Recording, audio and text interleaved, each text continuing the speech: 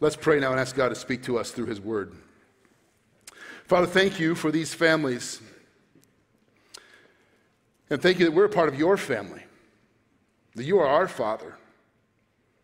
And you've called us all your sons and daughters into your family, the church. You've given us your word and your grace. Now, Lord, speak to our hearts. Open our minds that we might understand and our hearts that we might receive what you want to say to us this morning. We pray this in Jesus' name and for his sake. Amen. This past summer, we, uh, we had our outdoor services. How many of you attended outdoor services here on the Keslinger lawn? Those are coming back in the summer months. We're excited about that. Oh, yeah. the polite clap. Yeah. I'm also excited to tell you something else. Uh, starting next weekend, we will no longer require you to register for services. Woo! Yay!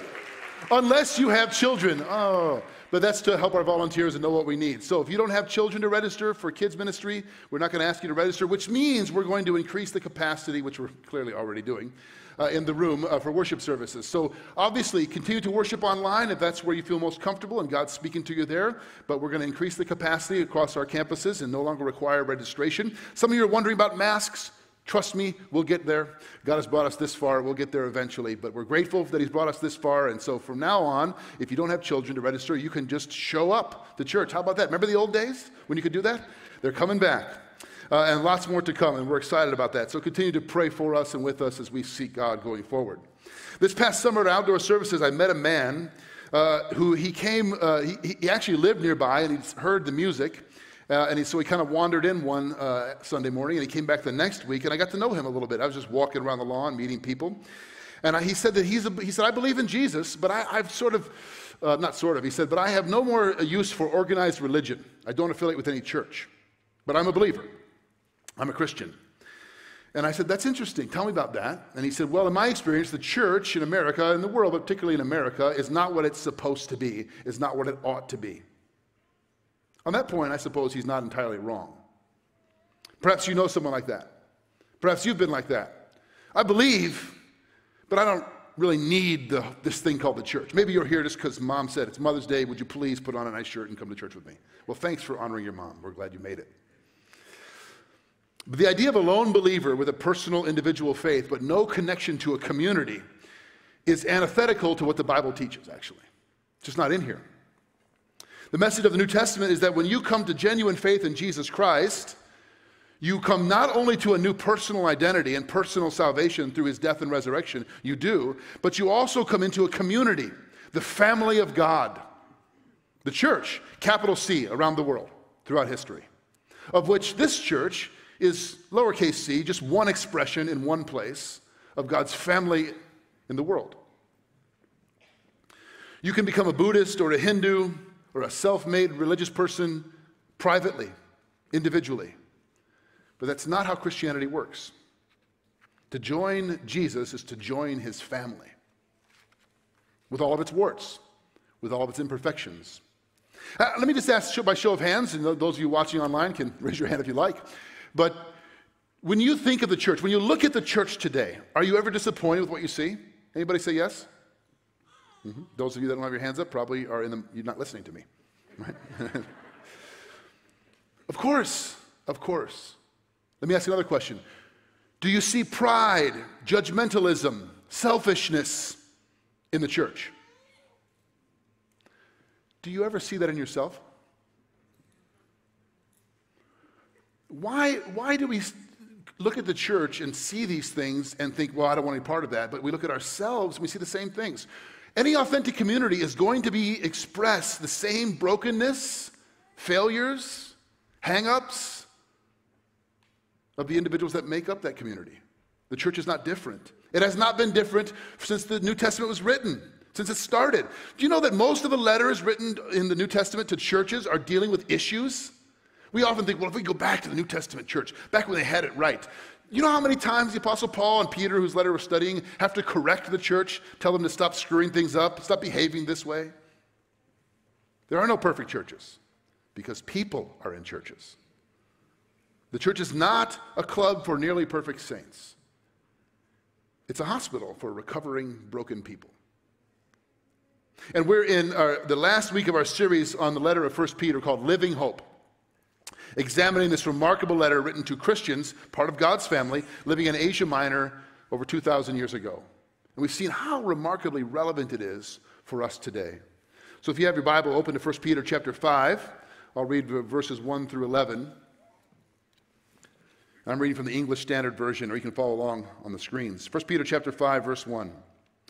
So I exhort the elders among you as a fellow elder and a witness of the sufferings of Christ, as well as a partaker in the glory that is going to be revealed.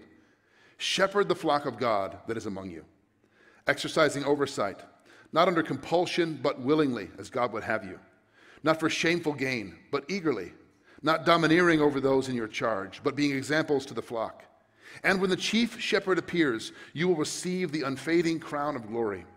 Likewise, you who are younger, be subject to the elders.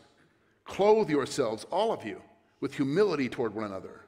For God opposes the proud, but gives grace to the humble. Humble yourselves, therefore, under the mighty hand of God, so that at the proper time he may exalt you, casting all your anxieties on him because he cares for you. Be sober minded, be watchful. Your adversary, the devil, prowls around like a roaring lion, seeking someone to devour. Resist him, firm in your faith knowing that the same kinds of suffering are being experienced by your brotherhood throughout the world.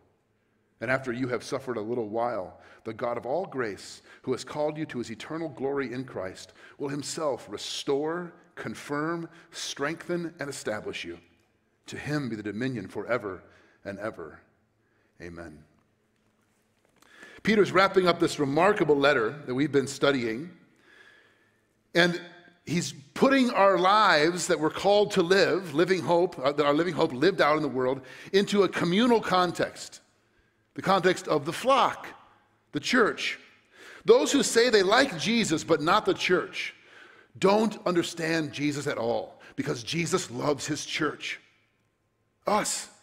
Even though we're screwed up, even though we're selfish, even though we're broken and prideful and arrogant and we get things wrong all the time, he loves us. And when we read this, this pat, we said this before, but the you in here, it's so, it's so American for us to hear you as you individual, you singular, you personal. But it's, it's you all, all y'all, in other words. You didn't know that Jesus was from Texas, right? It's all of us collectively. Peter's writing to a collective group of Christians, the church. So hear it not only for you personally, but as we go through this, think about it communally, all of us he's writing to. The main imagery or metaphor that Peter uses here is to describe the relationship of Jesus and his church is shepherds and sheep or a flock of sheep. This was deeply personal to Peter. If you remember the story of Peter, Peter, Peter, um, I, I draw strength and encouragement from Peter because he screwed up so many times, and yet Jesus still loved him. His great failure, of course, was his three denials. We know that story. The night of Jesus' arrest, betrayal before his crucifixion. Jesus predicted Peter would deny him three times. On the heels of Peter boasting, even if everybody falls away, I won't. And Jesus goes, Actually, not so fast. And Peter denied him three times and went outside and wept bitterly and then disappeared, thinking, He must be done with me. It's over for me. And when the rumor of the resurrection appeared, he ran to the tomb and saw it empty. You can only imagine Peter thinking, What's he going to say when he sees me after what I did? Anybody ever feel that way? What's God, going to say to me after what I've done? And when Jesus does confront him, he asks him three questions Do you love me? Three times. Each time Peter responded, You know that I love you, Lord. And each question is followed by a command. You know the command? Feed my sheep. If you love me, this is how you show it. Feed my sheep. Care for my flock. Feed my sheep. So when Peter writes this, this is deeply personal to him. He understands. And the first thing he gives us is the charge the shepherds. Now, the text says he's speaking to elders, which are overseers, leaders of the church. But more broadly, this refers to those that God calls to lead, guide, and care for his flock. Certainly, it applies to me as pastor, to our staff, to our executive council. But it also applies to, so you don't think you're off the hook here, anybody who God places in spiritual care over some other people, other Christians. You could apply these principles to. To all who offer care. Peter begins by calling out the motivation of the shepherds, the why. There's a lot of talk today about know your why for life. Well, Peter gives us the why for caring for others, the flock. It seems like it should be obvious, right? Why would you want to be in spiritual leadership? Why would you want to be in a shepherding role over other people? Why? Well, because of what Christ has done for, you, for me, for you, the chief shepherd, the good shepherd who loves me, who lays down his life for me. Apparently, Peter thought it was important in the first century to emphasize why, because people were getting it wrong, and I think it's important, certainly, in the 21st century to do the same thing. I don't know if any of you are aware of a, web, a website or an Instagram account called Preachers and Sneakers. Anybody ever heard of this?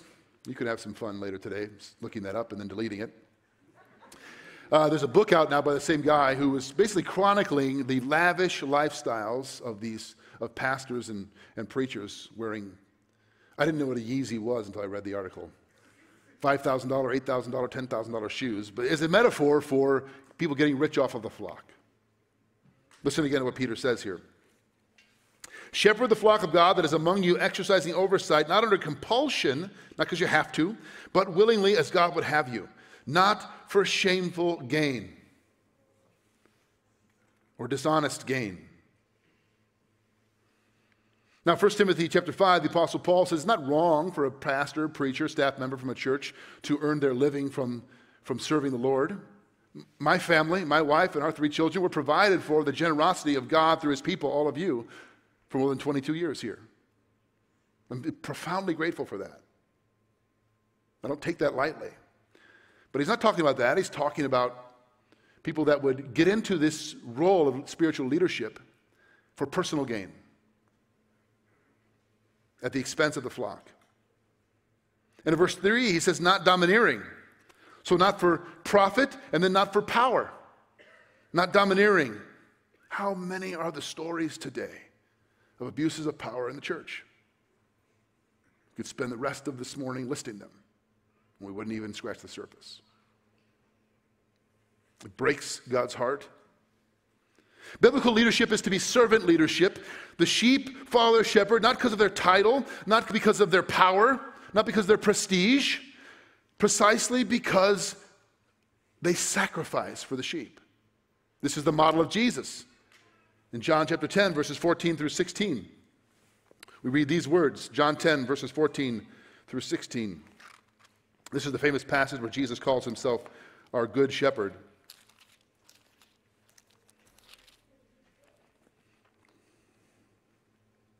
And he says, I am the good shepherd. I know my own, and my own know me, just as the Father knows me, and I know the Father, and I lay down my life for the sheep. I have other sheep that are not of this fold. I must bring them in also, and they will listen to my voice. So there will be one flock and one shepherd.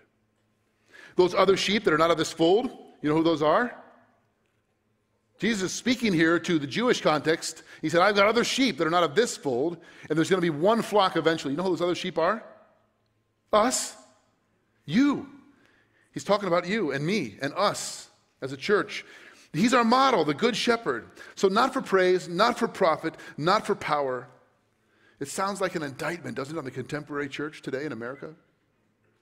I, I can't tell you the number of times I've read an article or seen a post and someone who's, who's made a comment, I'm done with the church because of what they see another abuse of power or people getting rich off of false promises, prosperity gospel preaching. And I just, my mind immediately goes to how heartbroken God is, how angry God is, and how people are going to look at me, us. So, if you think this doesn't apply for, to you, I would just encourage you. God may place you in spiritual leadership over somebody, some people, and pray for the shepherds of the flock. You have to have a shepherd's heart to do shepherd's work, is the point Peter's making. And he's our chief shepherd. Recently, on our executive council, which is our version of elders here at our church, we went away on a, on a prayer retreat uh, to Lake Geneva. Uh, some of our staff, Pastor John Bechtel, Abe Doncel, me, and our executive council, to pray and seek God's for the future. And I just, I tell you, those people are examples to me. Encouraging, praying uh, on our faces and knees before the Lord, asking hard questions about our culture, about what God wants for our church trying to seek the chief shepherd's will. So, in other words, as a shepherd, you seek the chief shepherd's will in order to lead those God's placed in your care. And moms and dads, you're shepherds of your family. If you're a small group leader, if you're in charge of children, if you're a teacher, there's a shepherding influence you have in your life. So seek the chief shepherd. Let him lead you as you lead others. Now look at verses 5 and 6. He goes on here in 1 Peter. Likewise, you who are younger, be subject to the elders. Clothe yourselves, all of you, with humility toward one another, for God opposes the proud, but gives grace to the humble. Humble yourselves, therefore, under the mighty hand of God, so that at the proper time he may exalt you. Clothe yourselves, he says. It's a fascinating imagery. It's over and over in the New Testament. This, the Greek construction literally means to put on, like, a, like an outer garment. Wrap yourself in, clothe yourself in, put on humility. How do you do that? How do you I was uh, working out with a group of guys uh, yesterday. Uh, yeah, yesterday. Yesterday was Saturday. We were running hills. We're old men now, but we are you could call it running. But anyway, and uh, they were talking about the sermon, uh, and when we were finished, and one of them said, "You know, humility is my best quality." I've been working hard at it. I'm surprised all of you haven't noticed how humble I am lately. It's disappointing you haven't remarked on it, right? So not clothe yourself in like I got a new jacket, I want people to notice. Clothe yourself in humility like it's something you're proud of, you're showing off. What does it mean to clothe yourself in humility? Humility is a fascinating thing. Uh, it, it, we don't elect people for humility, at least not in America. Not, if you're a truly humble person, is by definition not electable in American politics. We don't praise and honor our cultural icons for being humble. The NFL draft we just, we just had, which I'm thrilled about the Bears pick, they didn't pick Justin Fields because he's humble. He might be, but I don't, that's not the guy you want throwing passes, right? We don't praise that. The Oscars don't go to the most humble. Corporations don't hire CEOs for the most humble person. But the Bible, over and over and over again, consistently talks about humility as the key quality God wants for his people. What it means to follow Jesus. Put it this way humility will always be in direct proportion to your grasp of the greatness of God. Humility is not primarily about your relationship to other people or your understanding of yourself. It impacts those things, but it's primarily your understanding of your relationship to God. This is what John the Baptist said, right? Do you remember this story? John's got a following, he's got disciples, his, there's buzz about him growing, and all of his disciples and the, the people are starting to go to Jesus. And his closest friends come and say, John, you got a PR problem. Everybody's going to that guy. We need a new campaign. We got to do some surveys. We got to figure out popular opinion and get the you know, people back on your side. That's not exactly what they said, but something like that. And John said, famously, He must become greater, I must become less. Understanding yourself in relationship to God. He must become greater. He must increase. I must decrease. And when we see that properly, then it affects how we see other people. So humility is not being an introvert. Some of you are like, well, I'm very quiet. I don't want attention. Yeah, but I bet you're pretty proud of that, aren't you? That's not what it's about. It's not having a low view of yourself. This is where humility starts, not in your relationship to other people, but in your relationship to God. C.S. Lewis writes this As long as you are proud, you cannot know God.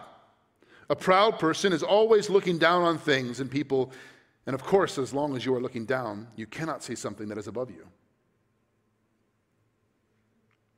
Ian Murray wrote a book about humility called Humility. And he famously said this Nothing is more at odds with the natural orientation and inclination of the human heart than genuine humility. We are not naturally humble people apart from Christ. You might think, yeah, but I, I don't want attention. That's not what it's talking about. Pride lurks in every heart. The upfront person, the behind the scenes person, spiritually speaking, has a wrong view of themselves in relationship to God until God reorients that. We are not naturally humble people until, until He comes to us and His grace changes us. So, just to drive this point home, I want to take you through just a little comparison chart here between proud people and humble people, because sometimes I think humility is best defined by what it's not. So, we'll see this on the screen. Proud people are self conscious, humble people are not concerned with self at all. Proud people desire to promote themselves, humble people desire to promote Christ and others. Proud people are defensive when criticized. Humble people receive criticism with the humble and open spirit. Let me pause there for just a minute. A friend said to me once a truly humble person is one who will allow others to say about them publicly what they would say privately to God. Right? I know that I'm a sinful person. I know that I'm proud and angry and impatient and arrogant and greedy, but I don't want you to say it. Leave that to me and God, please. All right, back to the chart. Proud people are concerned with the consequences of their sin. Humble people are grieved over the cause or root of their sin. Proud people are concerned with looking respectable. Humble people are concerned with being real. Proud people are easily offended. That's everyone. Humble people are hard to offend. Proud people are rarely content with what they have. Humble people live with a genuine heart of gratitude. Proud people don't think they need much from other people. Humble people are deeply aware of how much they need God and others. I don't think of myself or like to think of myself as a proud person. But I'll be honest, reading through that list in preparation for this sermon, reflecting on it, meditating on it, I have to, I don't check all the boxes very well. I line up on the wrong column too often. And in Peter's letter here, he says that God resists the proud. Whoa. Think about that. If you're proud, God resists you. The Greek word is antitasso, meaning he is set him, he sets himself up against you. To set against. That's not a good place to be, friends. The worst possible condition in your life is to find yourself being opposed by the living God. And he's saying, Pride in the human heart puts you in that position. So if we if you read through that list, if we as a church read through that list, it should cause us to repent. Oh God, forgive me for my pride. Break me of it. I don't want you resisting me. And then he goes on to say, God gives grace to the humble. Gives grace, favor, blessing, presence. He exalts the humble. The surest way to be brought low in this life, in God's sight, is to be raised up in your own sight. And then verse 7, which we didn't read in this a moment ago, but we did when we read through the text, he says, Casting all your anxiety on him, for he cares for you. So God gives grace to the humble, God exalts the humble, raises them up, and God cares for the humble. Interestingly, Casting your anxiety and fear onto God is a sign of humility. So if we flip that around, holding on to your anxiety and fear is a sign of what? It's not a trick question. Let me say it again. Casting all your anxiety onto God is a sign of humility. Holding on to all your fear and anxiety is a sign of pride. Now, I'm not talking about anxiety disorders that need treatment and medication. That's a different thing. But refusing to surrender what we worry about to God is actually a sign of pride. I, I, don't, I don't know if you can handle this one, God. I better take this, please. It's pride. A truly humble person casts their anxiety on him because you know he cares for you and he holds all things. This brings us to the warning to the flock. Warning to the flock. Remember, the you here is plural in Peter's letter. Let me read to you verses 8 through 9 one more time. Humble yourselves, therefore, he says, under God's mighty hand. And then in verse 8, be sober minded, be watchful. Your adversary, the devil, prowls around like a roaring lion, seeking someone to devour. Resist him, firm in your faith, knowing the same kinds of suffering are being experienced by your brotherhood throughout the world. We have an enemy, Peter says. As God's people, the church, we have an enemy. And it's not the socialists, and it's not the greedy capitalists. It's not the evil Democrats. It's not the MAGA hat wearing alt right people, right? We have an enemy. It's not those that are in education passing all the bad policies. It's not those that are, are, that are elected that we don't like. It's not the economy. Who's our enemy? It's not the guy across the street or next door or on Facebook that you can't stand and you block. Who's our enemy? We have an enemy a spiritual, real enemy. As God's people, our enemy is Satan. Now, I know some of you are probably here going, Really? Come on. That's not, he's not a real guy. It's not red tights and a pitchfork. I mean, that's just a metaphor, just a personification of evil in the world. I think one of the great tricks our enemy plays on us is to get us to dismiss this as silliness. Again, from C.S. Lewis's Screwtape Letters. I do not think you'll have much difficulty in keeping the patient, Christians, in the dark. The fact that devils are predominantly comic figures in the modern imagination will help you.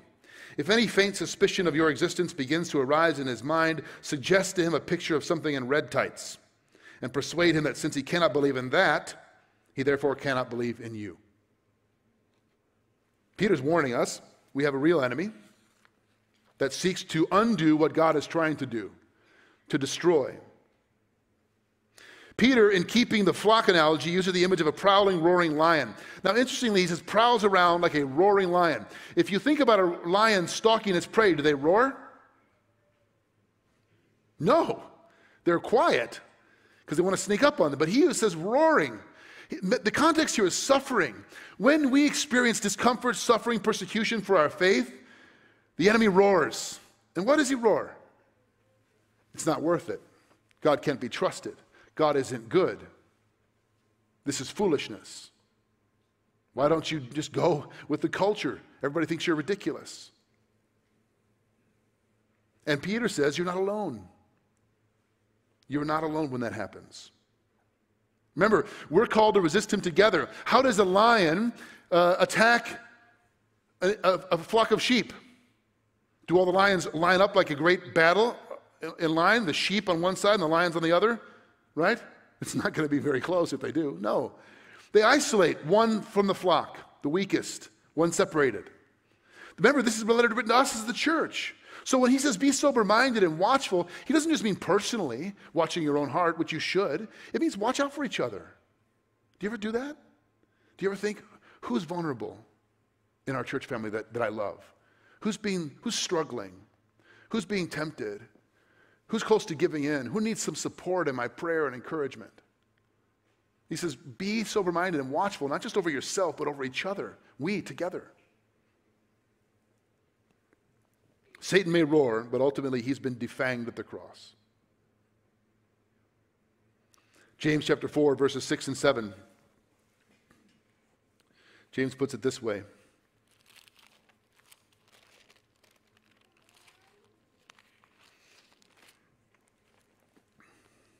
But he gives more grace. Therefore, it says, God opposes the proud, but gives grace to the humble. Submit yourselves, therefore, to God. Resist the devil, and he will flee from you. Submission to God and humbling ourselves under his mighty hand is how we resist. It's how we hold fast. Because we know what the Apostle Paul says in Romans chapter 16, verse 20, when he says that the God of peace will soon crush Satan under your feet. Isn't that fascinating? The God of peace will do it. The Lord Jesus Christ be with you. So be watchful, be sober minded, resist, and this brings us to the promise for us all. The last thing Peter says, the promise for us all. We get a hint of it in verse 4 when he says we get the crown of glory from the chief shepherd. Crown being a symbol of honor. Uh, that we're that we uh, those who have sought to be faithful to Jesus in this life will be honored in the next, and the honor that He bestows on us, we give right back to Him in worship.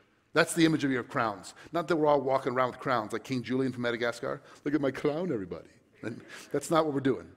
We, we, the crowns that we're given because God honors us for our faithfulness are given back to Him in worship, laid at the foot of His throne.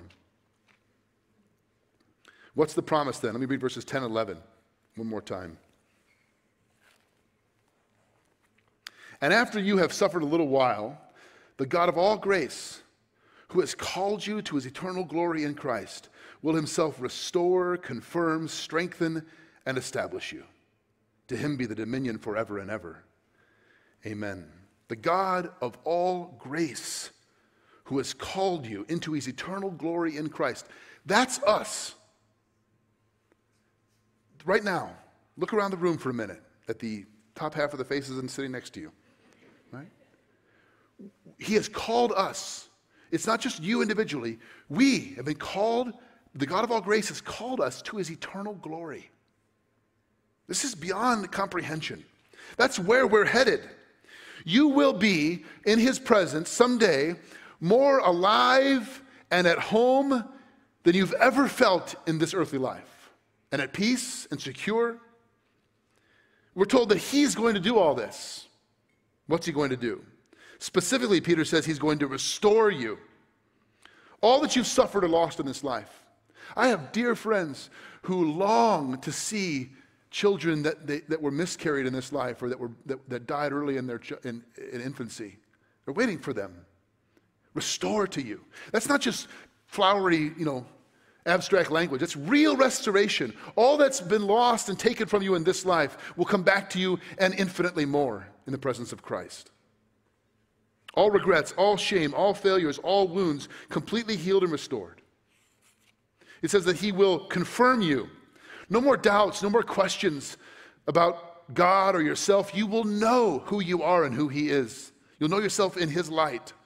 The Revelation says that you're going to be given a white stone with a new name, known only to the one who gives it to you, meaning you have an identity in Christ that you just barely glimpse in this life. And everything in our culture is fighting against it, attacking it, trying to tear it down. And every now and then you get a little hint that, oh, I belong to Jesus. I forgot that. That's right. But most of the time, it's seen through a glass darkly, Paul says. Someday, it's going to be confirmed. You'll know that you know that you know who you are. He'll strengthen you. All the frailty and weakness of this life will be gone forever, COVID included. Body, mind, and soul in perfect strength. I mentioned I was out running hills with some guys. You know, we all moan the fact that we can't walk the next day. we're breaking down physically. Outwardly, Paul says, in this life, we're wasting away. But inwardly, we're being renewed. But there will come a day when you'll be fully strengthened. Not restored to your 21 year old self or whatever your best self was, but infinitely greater than you can imagine. He'll establish you, Peter says. I'm so tired of hearing about uncertain times, unprecedented times. Someday, in the presence of Jesus, you will be established. There'll be no uncertainty. There'll be nothing to worry about the future. You'll be deeply rooted in, uh, in the foundation of His love and grace. Remember, if you're part of this series back in chapter 2, the cornerstone? You are being built together in him, the chief cornerstone, to become a holy t- temple in which he dwells by his spirit. Someday that'll be complete. That building will be complete. And we'll be part of it. Last little verse, and then we'll wrap up. Verse 12, I, I didn't read this for you, and it's not on the screen. Peter says this By Silvanus, a faithful brother as I regard him. Pause there.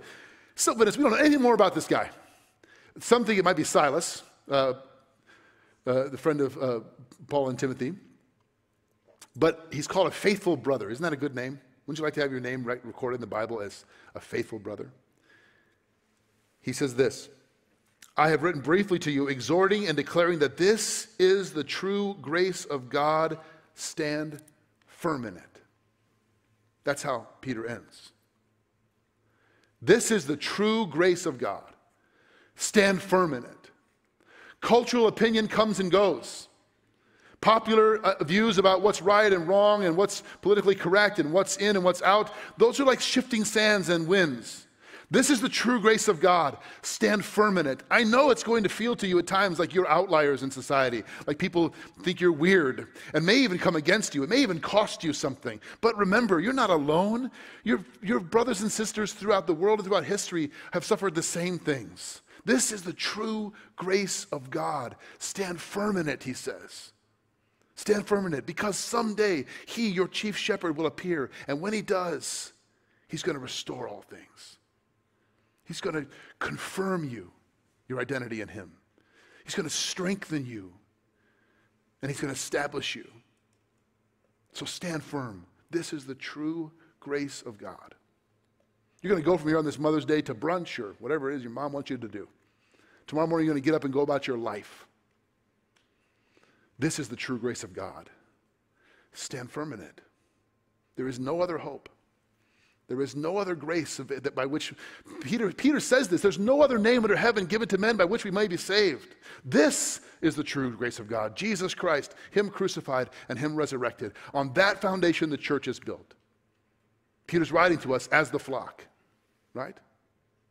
Stand firm in His grace. Let's stand together as we pray and then we'll worship.